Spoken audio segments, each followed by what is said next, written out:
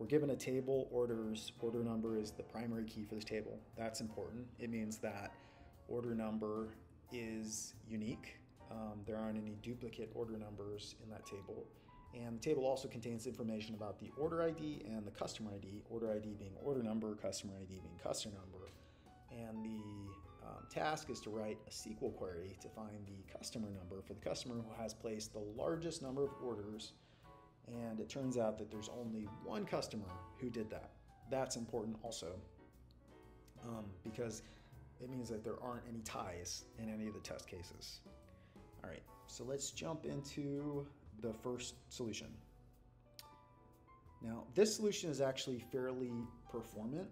Um, however, it might not pass some of the more elite interviews like at Google and Apple because it has one too many subqueries. However, it could pass at some startups. Um, depending, some some people who aren't super advanced in SQL like to use like lots of subqueries, and uh, and I, I understand why, but in my experience, um, in my experience for the more elite roles, contracting or otherwise, uh, you want to reduce this to um, only one subquery.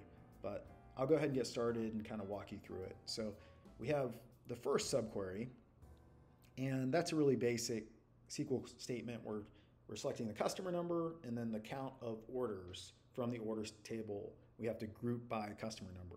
Now notice I said count star, not count distinct order number. That's because, um, as I mentioned, uh, order number is actually a primary key, which means that there aren't any duplicates, so we don't have to say count distinct. If we do say count distinct, that's going to slow down our query. Count star is one of the, the faster operations in SQL, um, so that's, that's the first thing. So that's our first subquery. And then our second query, we pull from that subquery and we're selecting the customer number and the count of orders, which we already found out in the first subquery. And then we're ordering by count of orders. So that gives us a table with all the customer numbers um, ordered by count of orders descending.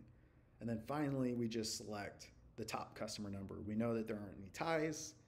So assuming that table is already ordered by count of orders descending, then we just select customer number and we limit one because the first customer is the one with the largest number of orders. And that'll work. That's actually, I've tried that out a few times and it's, it's about faster than 90% of solutions on LeetCode. However, as I mentioned, one too many subqueries. So how can we reduce this down so that there's only one subquery? Well, it turns out we don't actually need the uh, second query because all we're really doing in this subquery is ordering by count of orders descending. And we can do that down here.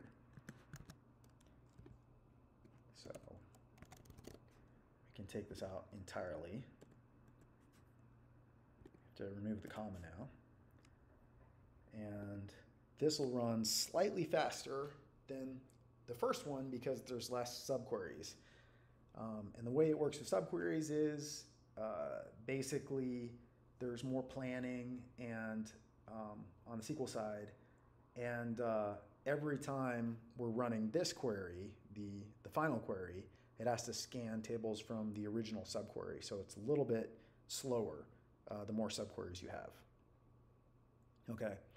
And I think this would probably pass most interviews. Um, for people who are always use subqueries, um, they'll probably give you a pass for this. And the more elite people would be like, okay, this is this is pretty good.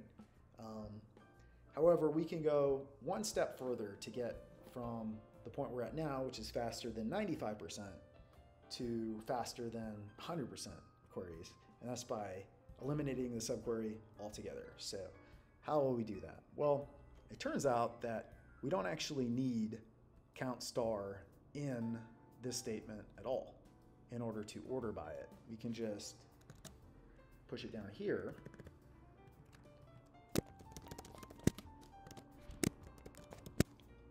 And that gives us the table that we need. It's right here, but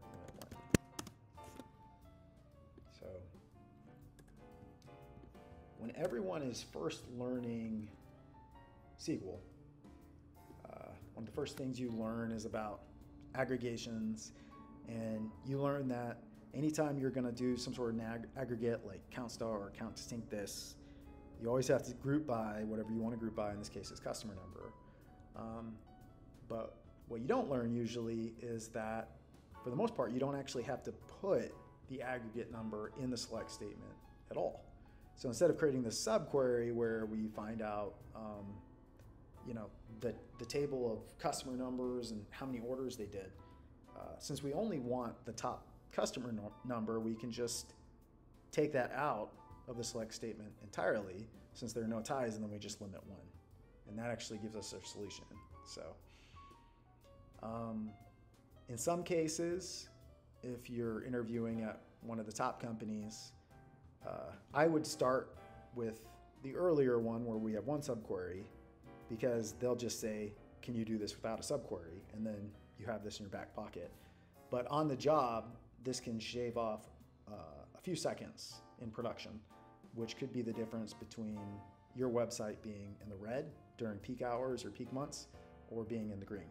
So, anyway, I hope this was helpful and uh, I really appreciate you guys. Looking forward to talking to you all again soon.